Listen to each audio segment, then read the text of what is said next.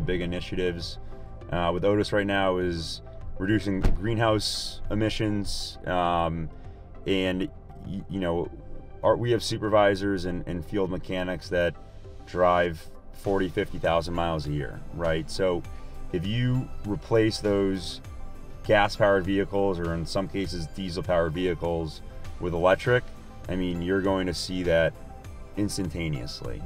You know, I kind of could use it as my mobile um, office where, you know, I was able to take conference calls um, when I had to stop at the the charging stations.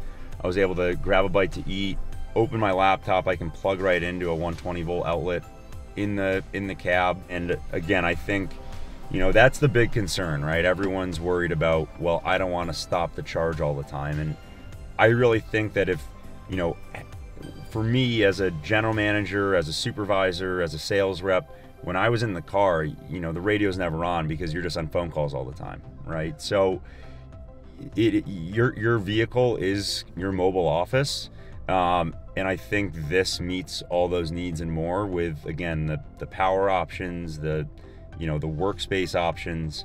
Um, it's just great for any of those roles. People that are driving a regular gas vehicle still are, you know, they always think, oh, you have to stop for you know a few hours to charge, but you often forget that it's charging while you're doing something else, right? So you don't have to actively, you know, sit with the truck or the vehicle when you're charging. So just, you know, it's it's just kind of nice that you know you leave the office for the day and you got a full full tank of gas, right? I would say the biggest things for me, just you know, again, now I'm in general management, but I've been a supervisor, um, and all I could think about is pulling up on a job site and you know you had to worry about your battery running out of power or about you know tools needing to get charged.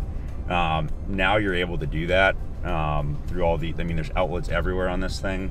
Um, it just is going to make it a lot easier for a supervisor to be that resource uh, for their field mechanics.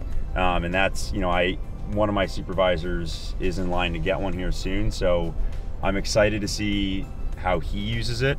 Um, but I, I, just think that there's just a lot of benefits for not only the field but for the field supervisors as well to help better support the field. I actually we had a mechanic barbecue a couple weeks after i got it um, and a lot of the guys were interested in it and wanted to take it for a drive and and once they got in it and they you know felt the power that that this has i i think that turned some heads um, i think a lot of them um, like I said, we're super against it at first, and I think they're all open to it and they know that it's the future. So, uh, you know, a lot of them right afterwards start asking the questions of when do we get one.